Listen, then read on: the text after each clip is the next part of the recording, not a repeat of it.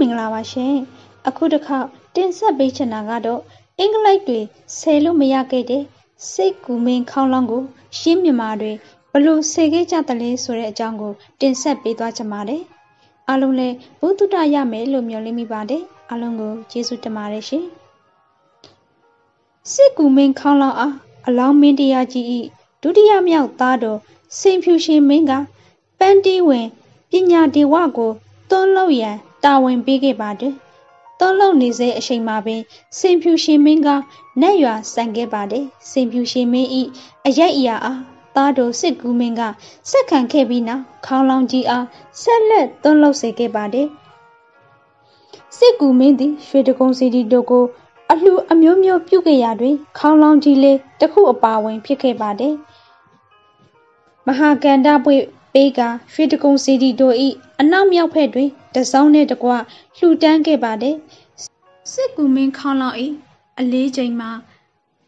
15555ပိတ်သာရှိပြီးတန်ချိန်အားဖြင့်24တန်လေးပါတယ်အရှိ17ပေခွဲရှိပြီးခေါင်းလောင်းအဝအကျေမှာ6ပေ8လက်မှကျေပြီးဒုမှာတပေရှိပါတယ်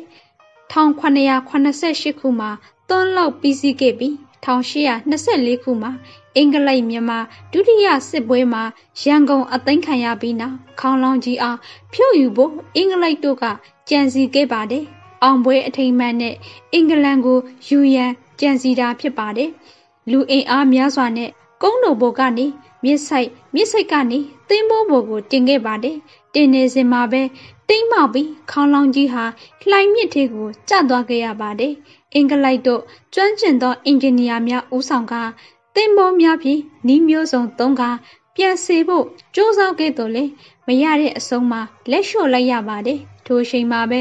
မြန်မာများကအင်္ဂလိပ်အာဏာပိုင်များနဲ့တွေ့ဆုံကခေါင်းလောင်းကြီးအားမိမိတို့စ조사ဆယ်ယူပါမည်ဆယ်ယူ၍ရပါကမူလနေရာကုန်းတော်ပေါ်တွင် ပြန်ထားခွင့်ပြုရန်ပြောဆိုခဲ့ကြပါတယ်သူတို့ခေတ်နီးစနစ်တွေနဲ့စေတာတောင်မရမြန်မာတွေဘယ်နည်းနဲ့မှစေတော့ရနိုင်မယ်မဟုတ်ဟုလောင်ပြောင်က အလွယ်တကူနှင့်ပင် ခွင့်ပြုပေးလိုက်ပါတယ်ရှင်းမြန်မာတို့က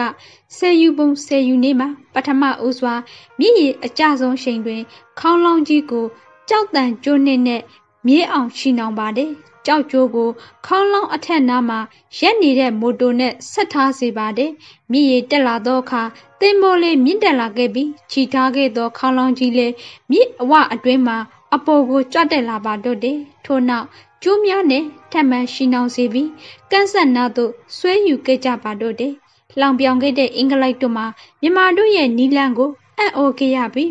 သူတို့ကတိအတိုင်းမူလနေရာကို ပြန်တင်ခွင့်ပြုလိုက်ရပါတယ်။ထိုနည်းနဲ့စစ်ကူမင်းခေါလောင်ကြီးကိုဆယ်ယူခဲ့ပြီးမူလနေရာရွှေတကွန်ကုန်းတော်ဘိုရှိ1826ခုမှာတခန်းတနာနဲ့ပြန်လေပို့ဆောင်ခဲ့ပါတယ်။ မြစ်အတွင်းမှာဆယ်ယူရာတွင်အထိခိုက်များရှိခဲ့ပြီးတက်တန်း